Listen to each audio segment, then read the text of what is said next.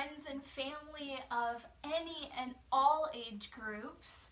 I'm teacher Gabby, as most of you know.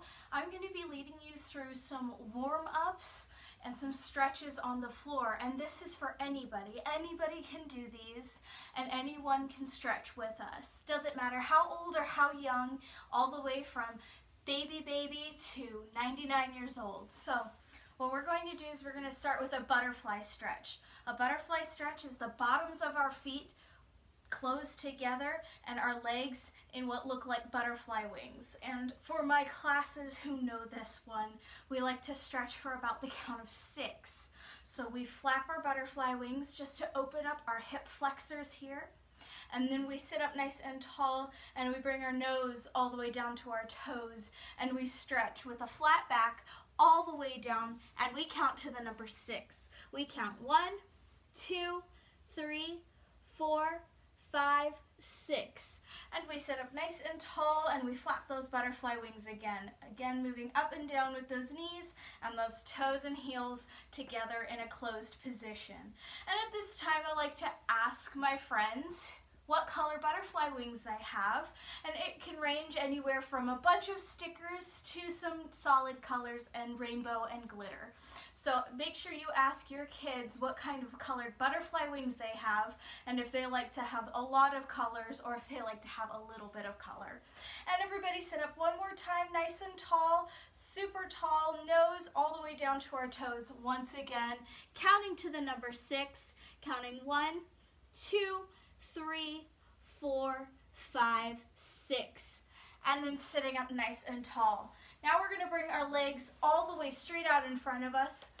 And we're going to bring those toes, we're going to point them. That's where your toes, you're extending your legs all the way through and you're pointing your toes all the way down.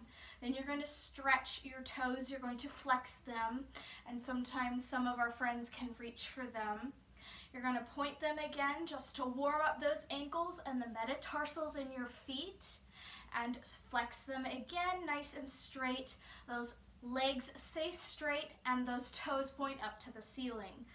And here we go, we're gonna point our toes, we're gonna reach up, up, up as tall as we can, and we're gonna try to touch our toes all the way down the front. I like to count to the number seven for these ones. One, two, three, four, five, six, seven. Then I sit up nice and tall and we get our feet nice and flexed and we reach up again and this time we count for the number eight. We count one, two, three, four, five, six, seven, eight. And then we release. We're gonna bring one leg out and one leg in, almost like that butterfly position with this leg here. And this other leg is out straight to the side. And sometimes we rock it back and forth to get the hip all nice and toasty. And we also sometimes like to point our toe and flex our toe and point our toe and release. Then we reach ourselves all the way down to one side. We reach up and over with our other hand, almost like yoga, and we count to the number nine. One, two, three, four, five, six, seven, eight, nine. And we sit up nice and tall, and then we switch our legs. And sometimes my friends like to think of it as making a big rainbow when we stretch up and over. So maybe this time we'll think of it as a rainbow. Let's point that toe and flex that toe and point that toe and release. Don't forget to keep those legs nice and straight. Reaching up and over and stretching. Big rainbows. Let's count. One, two, three, four, five, six, seven, eight, nine.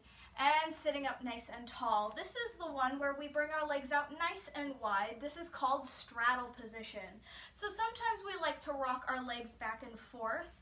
Sometimes we like to point and flex and point our toes. But today I was thinking we would go all the way down and we would almost take a nap on our knee. So everybody take your hands and take a small little nap. It'll be very quick, about to the number nine. Here we go, just one, two, three, four, five, six, seven, eight, nine, and then wake up.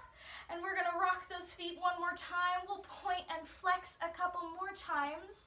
And then we're gonna fall asleep on this knee. Everybody tuck up under. And here we go, counting to number nine. One, two, three, four, five, six, seven, eight, nine. And wake up one more time.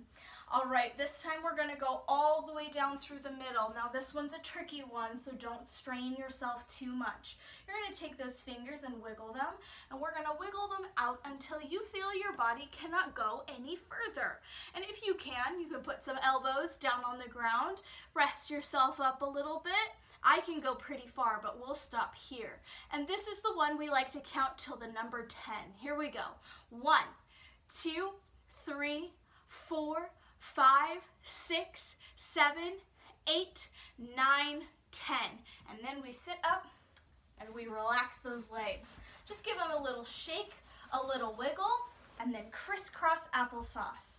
Now, if you're in a ballet class or a primary ballet or a primary creative movement or a pre-primary of either of those, we like to practice our arm positions and that'll be coming up in the next video. Thank you.